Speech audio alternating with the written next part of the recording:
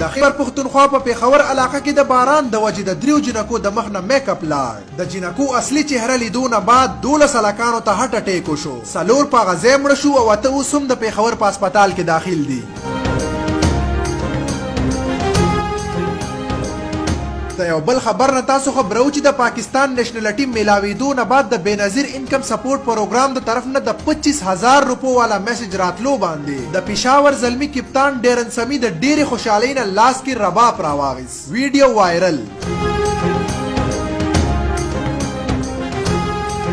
د جنکو په منځ کې به د یو بل په سرونو کې د سپګو لټولو ټورنمنټ د 5 اپریل نه بعد په پېښور یونیورسيټي کې منعقد کیږي د کمی جنۍ د سر نه چې زیات سپګي راووتي هغه به د ټورنمنټ فاتحه وي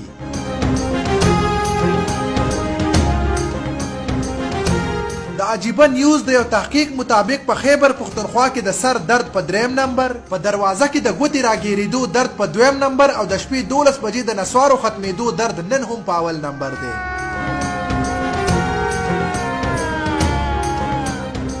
یو بل خبر نه تاسو خبرو چې چرګانو چوک کې دوه موټر سایکل سوارو اچانک پنځو کسانو ته سلام وکړو. درېو کسانو په هغه موقع جواب ورکړو او دوو ورته وویل چې پاتې شئ باران دی.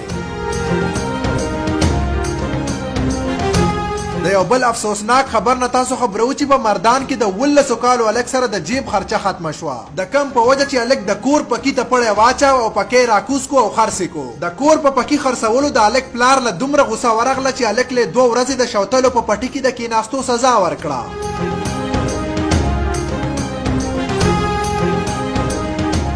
پاکستان ته د کرونا وایرس راتلو نه بعد د یو بل پاکستاني ساينسدان دا وینا ده چې روزانه یو کیلو ټینډې ایښولو نه بعد خوړلو سره به یا کرونا وایرس ختم شي او یا به په مارکیټ کې ټینډې ختمې شي دواړو کې زموږ فایده ده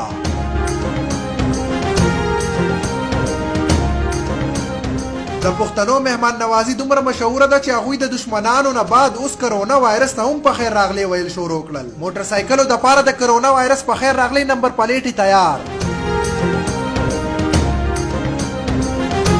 د چاینا نه ایم بي بي اس کولو والا یو پاکستاني ډاکټر دا وینا ده چې د باران اوبه د پیتل په لوښي کې جمع کوي او بیا هغه اوبه پوره څلور ورځې نور ته کیدئ په پنځمه ورځ هغه اوبه په خپلو ویښتو ولګوئ ستاسو ویښته به لامده شي.